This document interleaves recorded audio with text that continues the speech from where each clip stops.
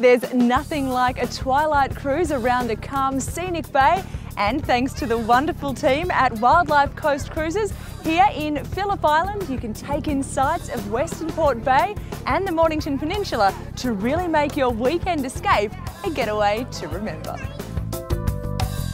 John Dickey is joining us now. John, talk to us a bit about this Twilight Cruise. It goes for an hour and a half and yep. talk to us about the experience that people can have on board and what sights we'll get to see. We cruise up through the sheltered area of Western Port Bay, uh, through the Islands, going up past the Cerberus Naval Base and um, up through one of the ports of Stony Point, seeing the tugs and the, and the big boats there. Then we head up towards, um, right up into the bay towards Hastings. Up there there's a historic submarine there and right throughout the um, trip we, we tell you stories and do commentary as well.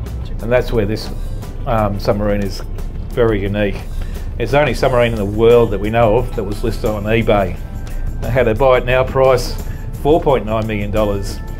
During the cruise tonight, we'll be uh, serving some hot and cold nibbles. We also have um, drinks on board. We've got a nice licensed bar down there. We run um, three nights a week from September through to April, and then over the peak of the summer, we run every night. Wildlife Coast Cruises also offers a wonderful opportunity to get up close and personal with thousands of seals.